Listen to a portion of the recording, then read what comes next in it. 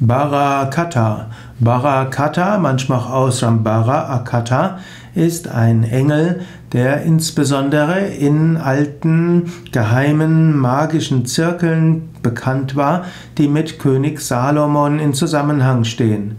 Barakata, auch einfach nur Barakata bezeichnet, also nur mit einem A, wird manchmal als Engel bezeichnet, manchmal auch als Geist und es das heißt, dass man ein besondere, besondere Kräfte haben muss, um mit Barakata in Kontakt zu kommen.